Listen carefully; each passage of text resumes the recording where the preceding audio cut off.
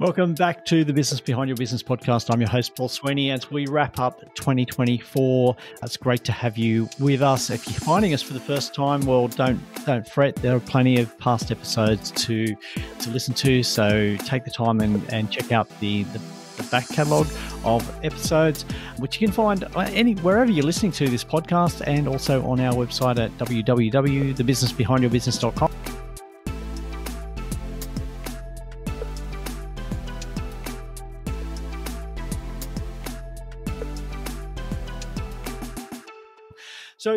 thank you for joining us as we wrap up 2024. I just wanted to share three key things that I've reflected on from the the guests that we've had on the podcast in this past year, and also some of my experience with talking to clients and business owners um, during the the last part of the year, particularly. So, three highlights, I guess, for me for from the the podcast, and we've had some great guests with lots of highlights. But one of the things that really struck me and has come out through. Um, I think through well, probably the, the catalyst for me was the conversation I had with Jason Owen from D2N Technology, and right through the whole conversation about why Jason is so successful is this whole idea of the key um, of relationships, relationships in business, and how relationships actually help you in business, not just as a as a as a business owner, but as a person running your business, and who you look for for mentoring and and guidance. And uh, during the past couple of years, and look, we're still in this COVID hangover. Back in 20, in 2024, we're still in the hangover from COVID,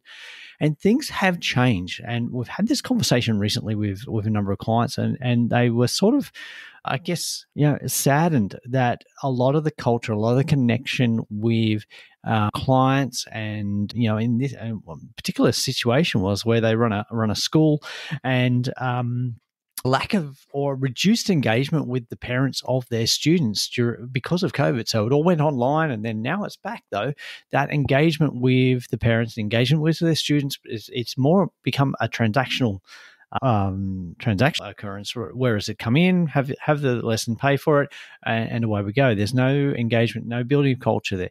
So what we're hearing from a lot of business owners is there needs to be this reconnection, but not so much a reconnection, but a re a rebirth or a reimagining of how we do relationships in business and what do we need to do. And and look, we've we've all jumped on the bandwagon with technology and um, you know embracing Zoom and Teams and video, but we're really I think we're we're really lacking that face to face connection, that intimate uh, or not, not, not, intimate relationship, where we're actually having a real conversation with people. We're actually seeing the real, um, you know, really what's going on with their business, with their needs. We can connect to them on a personal level, and that is is lacking. So what we're seeing is that the inability to increase sales because there's no connection. It's become very transactional, but more about what do I need at the minimum and I'm not after anything else.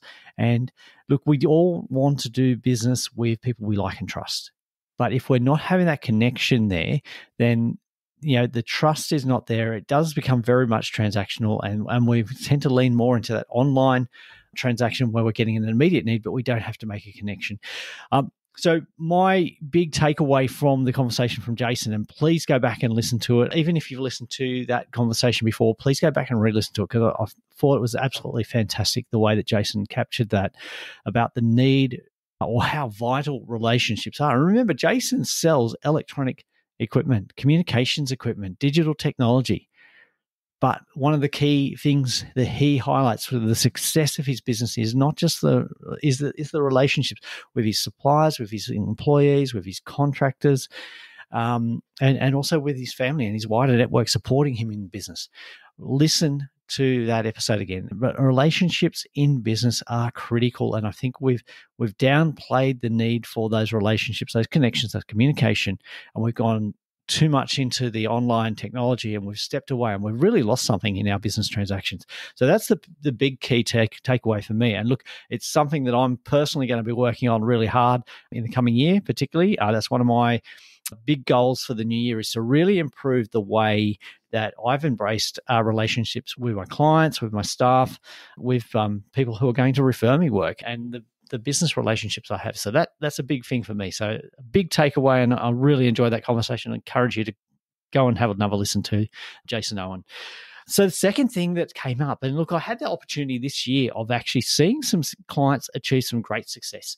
And I've seen some businesses, and Jason is, one that's been, you know, really powering through. Jason, not actually one of my clients, but I really love the way that he's working, and I've connected with Jason through our, our local business chamber. But I've had the chance to be involved with some clients and see that they've grown their business. They've actually achieved some success, and and some of them have actually um, been you know, a bit disappointed by that success. And, and one actually put in his newsletter how he was disappointed with the outcomes of a new program that he'd implemented or implemented a couple of years ago, but the, the growth in the program. Now, he was disappointed in the growth because it didn't hit his targets, his forecast, but you know, he did achieve 50% growth in revenue from that product. Now, most of us are saying like 50% growth in revenue from a product is great.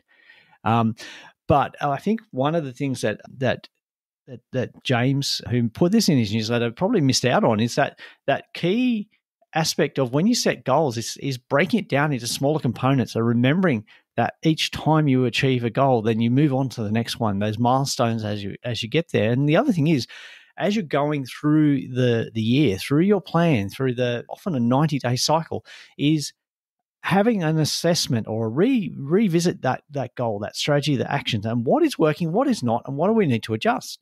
Now, if you do that on a regular basis, you are going to be in a much better position to make those changes, those those alignments, uh, realignments, or where you need to go, or those just you know fixing those small little things that could make it go better. And as you do that progressively throughout the year, you're more likely to to revisit your goals, your forecasts, and say, well, hang on, that's not realistic or we just need to change X, Y, and Z and we're going to move forward. So it might be a case of, well, okay, we're getting a lot of inquiries, but we're not converting them into sales revenue. So what's the problem? Where's the where's the downplay? Is it because the inquiries are coming through, but they're expecting something different from what we're delivering, or are the inquiries coming through, but we don't have the sales team to respond to them, or when the sales team respond, they don't know the answers to the questions. So what are the questions they're asking?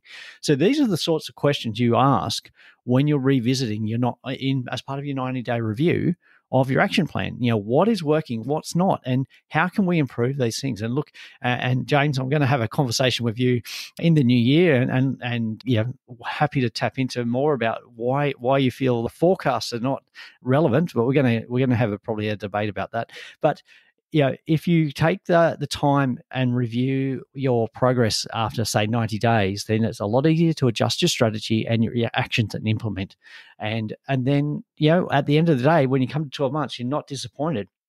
Okay, because you've been working on it and you can see the growth, you can see the improvement. The other thing along that line is making sure that you recognize when you have met your goals, when you have been successful, and celebrate that and celebrate it with your team because if you don't share with them that they're that things are successful, that you've actually achieved the outcomes that you want, they're going to keep plodding along, going, "Well, I don't really know if what I'm doing is actually making a difference." You know, do I really need to go and put in that extra effort here, or do I really need to pursue this, or should I up get update my skills here? Because it, you know, what's the benefit of me learning that new skill? Um, I can't see how I'm going to apply that. But if you actually say to your team, "Hey, look, our goal was to grow by five new business clients this month. And look, we we did that. We actually we did six. So we've actually exceeded our goal, and that's a great thing. So you, you let them know how you're progressing and, and and let them know that they are contributing to the success as well. And don't be afraid to have those little celebratory um, moments where you actually celebrate the success, celebrate the wins, and plan that in and structure it.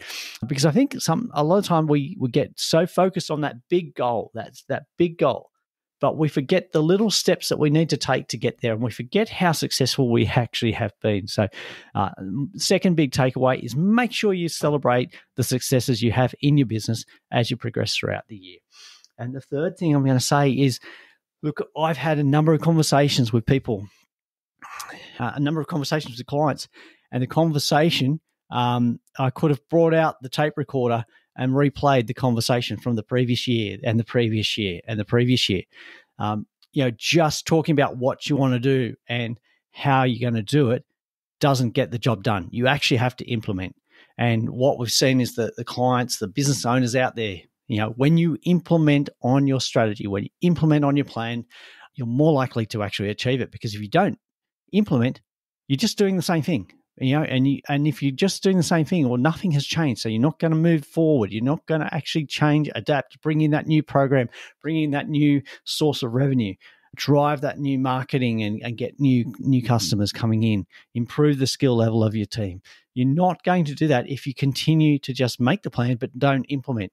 Implementation is key. And when we've seen implementation, we've seen results. And and look, it's great to see businesses taking action. They have a plan, they have a strategy, they've implemented, and they monitor the results. They're celebrating the wins, and they're celebrating the wins with their team, and also their their their their wider business community, their their customers, their their suppliers, and you know when you implement and you can monitor, you do achieve and you do grow your business. And that's what we're after here uh, at the Business Behind Your Business. We want you to grow a great, thriving, profitable business that grows from strength, that gives you the ability to you know fund the lifestyle that you that you need, that you want, you know, that supplies enough cash profit to make you eh, or to put you in a position where you're debt free, where your your business is operating effectively, efficiently, smoothly, and, and it's not dependent on you.